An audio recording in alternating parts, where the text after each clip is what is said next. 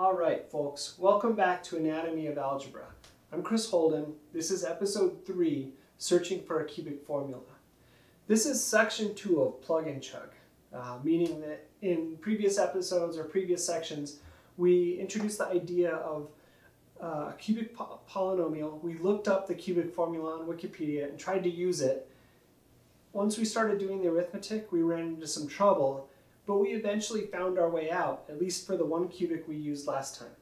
So what I wanted to do in this section is to see how lucky we got. So to start with, I wrote down the basic strategy that came out of what we did last time. So this is plug and chug, the cubic version, sort of the anal analog of what you do with the quadratic formula in, in school usually. So we've got Cardano's formula, and what we're going to do is with our cubic, we're going to get as far as we can with Cardano's formula until the arithmetic starts getting really hard.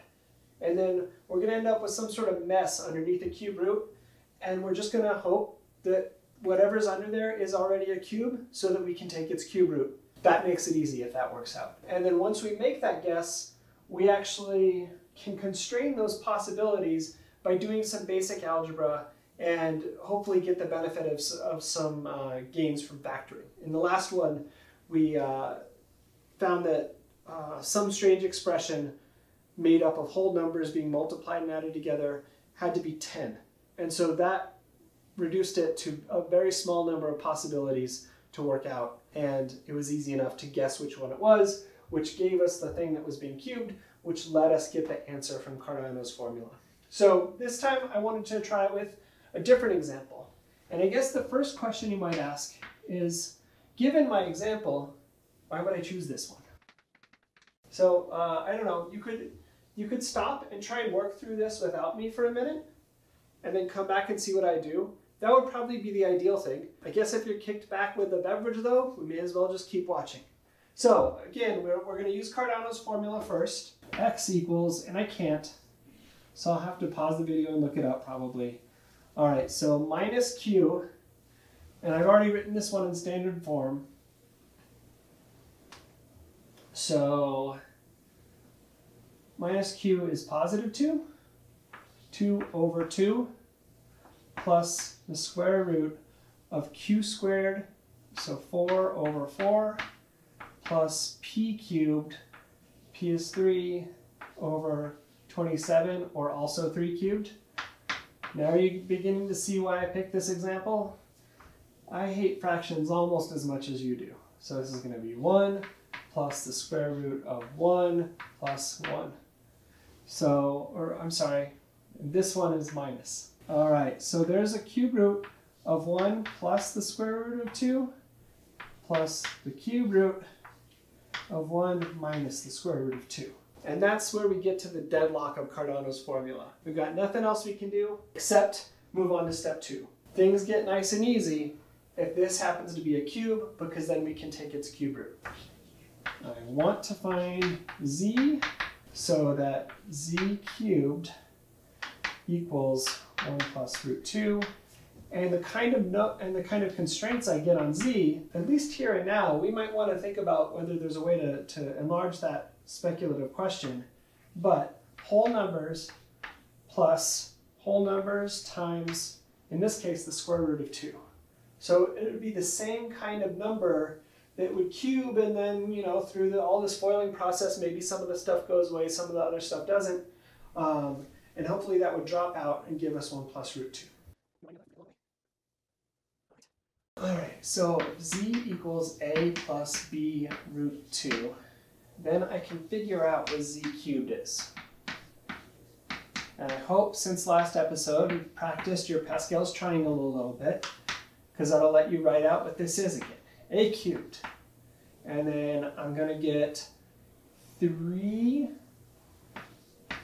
squared b root 2's. So if you're imagining sort of this three-part foiling, I take the a from one, I take the a from one, I take the b in the second one, or in the third one. And then depending on how I do that, there's three different ways to do that, and that gives me all three of those. I also likewise get three um,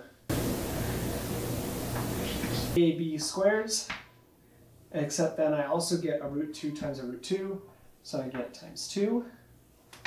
And then finally, I get 2 times 2 root 2 times root 2 times root 2, which is 2, and then another root 2 and 3 b's.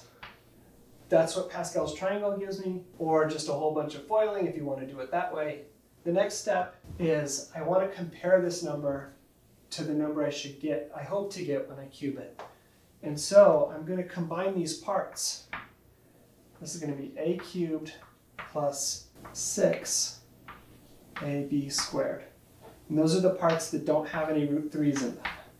And this other one is going to be 3a squared b plus 2b cubed times the square root of 2. And I know that this part is going to have to be come out to be 1. So I know that if this is going to work out, I'm going to need that to be 1. I'm going to go ahead and do the factoring I did last time to see if it helps me out. Okay, and I'll leave the other one for just a little bit later.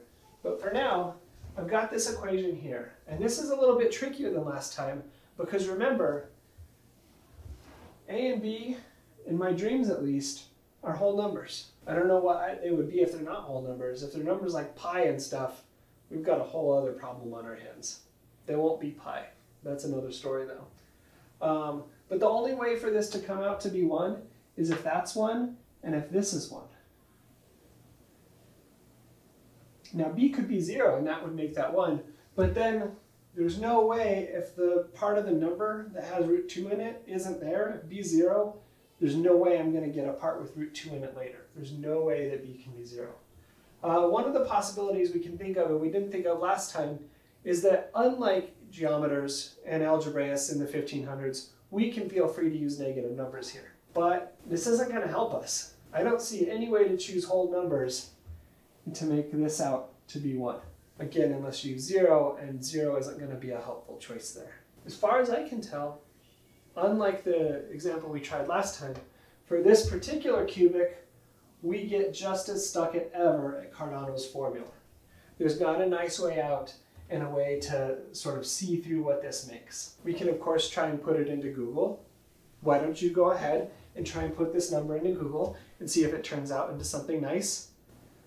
Uh, well, I guess it doesn't this time, right? So what do we make of this?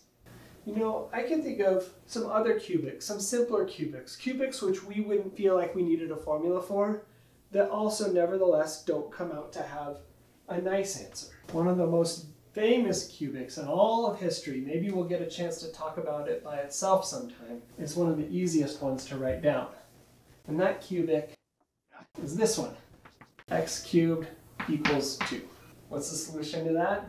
Easily enough, x is the cube root of 2. So that number isn't going to simplify ever. But we might ask, well, what is that number? How do we know that that is a number? In algebra class, you're allowed to write down signs that look like this and call them numbers, but is that a number? What gives something the right to be a number? If we believe that that is a number and ends up somewhere on the number line, how can we find out around how big that number is? In other words, can we find a decimal or a fraction approximation for that number? Now, I want to continue on with the cubic, so I don't want to get too sidetracked with a number like this today, but I do want it to sort of to put a pin in it and to have that pin be poking at us that a lot of times when we're answering these questions, it's not just the algebra that allows us to answer, it's some assumptions that we're already making about what numbers are and how we deal with them. And at some point, we're going to have to go ahead and pay that bill. Until next time, keep thinking about what kinds of numbers are coming up in the algebra that you're thinking about and what you know about what kind of numbers they might be or what questions you have about what kinds of numbers and how to deal with them that, that you can come up with. In the next section, I want to take one more section to look at an example of a cubic to plug it into Cardano's formula and see what happens. We've seen an example of something that works out nicely, and, and if we work through it, we can see how it works out nicely. We've seen this time an example of something that doesn't work out. And in the next example, we'll see an example of something that works out, but only if we're willing to believe in something impossible. So until then, this has been Anatomy of Algebra. I'll see you next time.